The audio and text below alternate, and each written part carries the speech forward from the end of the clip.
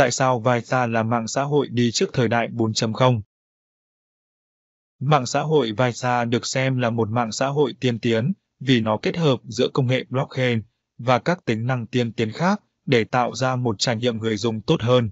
Dưới đây là một số lý do tại sao Visa có thể được xem là mạng xã hội đi trước thời đại 4.0. 1.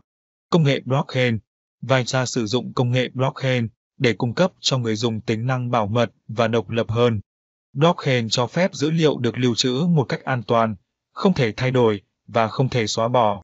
Điều này giúp bảo vệ quyền riêng tư và tính toàn vẹn của thông tin người dùng. 2.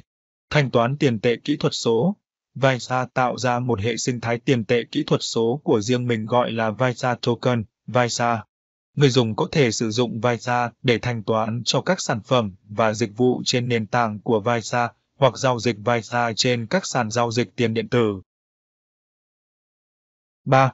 Phân tích dữ liệu và trí tuệ nhân tạo Visa sử dụng các công cụ phân tích dữ liệu và trí tuệ nhân tạo để giúp người dùng hiểu rõ hơn về hoạt động của họ trên nền tảng và cung cấp các đề xuất để cải thiện trải nghiệm người dùng.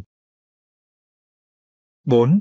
Hỗ trợ đa ngôn ngữ Visa hỗ trợ nhiều ngôn ngữ khác nhau, cho phép người dùng từ các quốc gia khác nhau truy cập vào nền tảng và giao tiếp với nhau dễ dàng.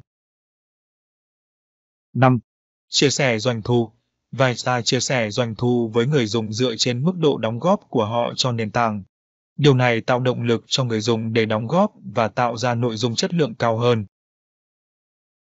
Tóm lại, mạng xã hội Vita sử dụng nhiều công nghệ và tính năng tiên tiến để cung cấp cho người dùng một trải nghiệm tốt hơn.